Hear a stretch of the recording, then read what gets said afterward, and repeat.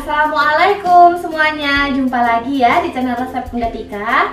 Kali ini saya akan membuat es lilin jagung manis yang tentunya super enak ala Bunda Tika. Seperti biasa, sebelum ke bahan-bahannya, subscribe dulu channel resep Bunda Tika. Dan buat para penonton di rumah yang mau mendapatkan notifikasi resep terbaru, silahkan klik lambang loncengnya ya. Sekarang langsung aja ke bahan-bahannya untuk bahan yang pertama, di sini ada dua bonggol jagung manis, kemudian dua lembar daun pandan. Di sini ada 750 ml air putih. Kemudian di sini ada 150 ml creamer kental manis. Kemudian di sini ada satu sendok makan gula pasir, satu sendok makan tepung maizena. Kemudian di sini ada kurang lebih setengah sendok teh garam. Dan jangan lupa di sini ada plastik es yang udah diikat simpul bagian bawahnya atau boleh pakai es uh, plastik es yang sudah siap pakai ya. Nah, itu tadi bahan-bahan yang perlu disiapkan. Untuk lebih jelasnya, bahan-bahannya bisa dilihat di deskripsi dari video ini. Ada di bagian bawah video ya. Sekarang langsung aja ke cara pembuatannya. Langkah yang pertama kita sisir jagung manisnya.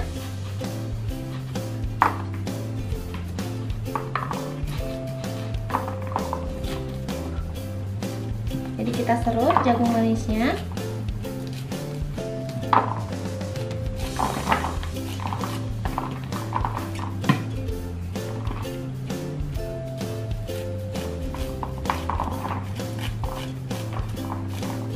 Jadi kalau mau buat uh, porsi lebih banyak, bahan-bahannya tinggal dikalikan aja ya.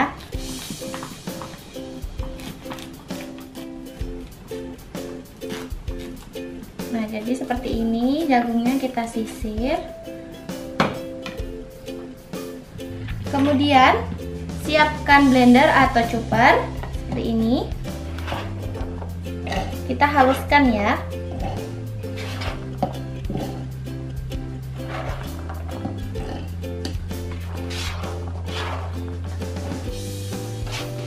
Kita haluskan sampai benar-benar halus. Jadi ini kita haluskan semua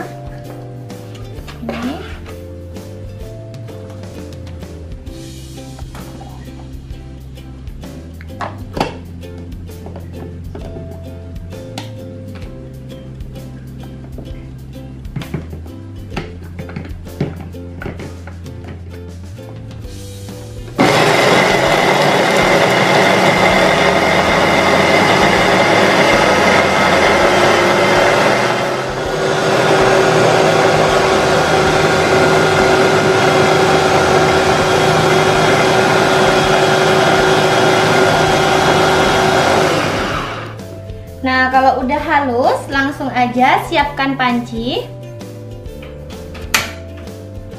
Masukkan air putih. Kemudian gula pasir.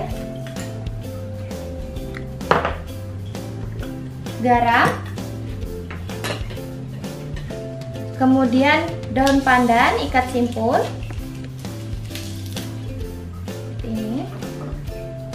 Kemudian creamer kental manis.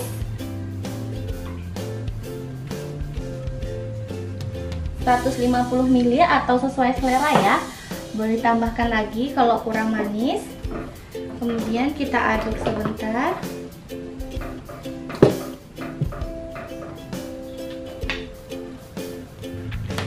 Langsung masukkan jagung yang udah kita blender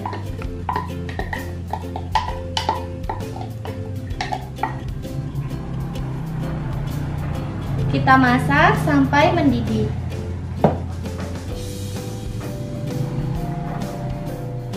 Nah, kalau udah mendidih seperti ini, kita kasih kecil apinya ya. Langsung aja masukkan larutan tepung maizena. Jadi tepung maizenanya tadi ditambahkan sedikit air, lalu kita masukkan ke dalam rebusan jagung manis. Kita aduk.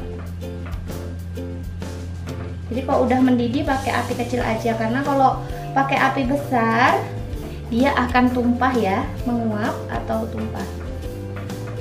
Nah seperti ini. Jangan lupa dites rasa. Jadi kalau kurang manis boleh ditambahkan susu kental manis lagi atau tambahkan gula. Tapi kalau terlalu manis boleh ditambahkan air putih lagi.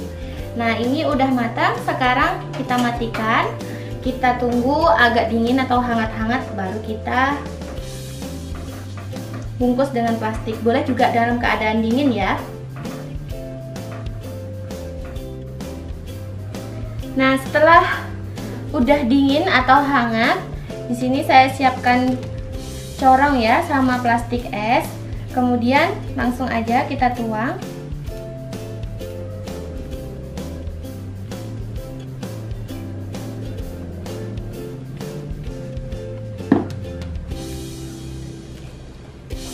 Kemudian ikat.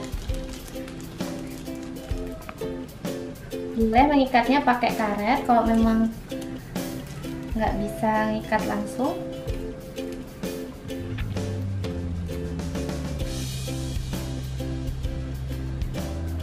Nah hasilnya seperti ini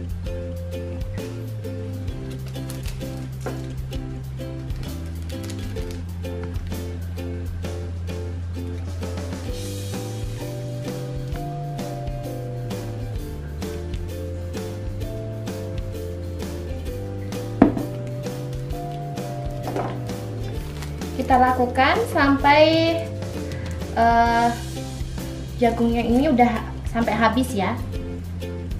Jadi untuk hasilnya itu sesuai dengan size plastik esnya jadi kalau pakai plastik es krim yang sebesar telunjuk itu dia jadinya lebih banyak karena dia lebih kecil.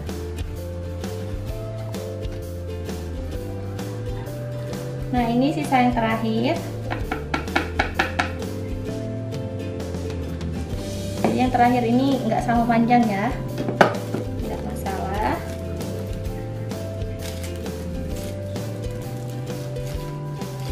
Jadi sekarang biarkan benar-benar dingin baru masukkan ke dalam freezer sampai beku. Nah ini dia hasilnya. Es lilin jagung manis yang tentunya super praktis dan enak ala Bunda Tika ya Silahkan dicoba resepnya di rumah, semoga resep ini bisa bermanfaat. Jangan lupa subscribe channel resep Bunda Tika, saya tunggu like dan komennya. Bunda di rumah, kalau video ini bermanfaat silahkan di share ya. Sampai jumpa lagi di video selanjutnya. Assalamualaikum.